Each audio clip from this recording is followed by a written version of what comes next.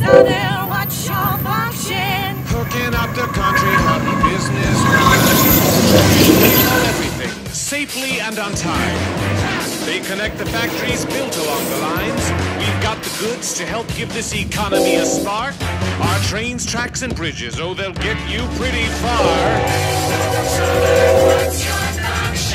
Hooking up the country, helping business run.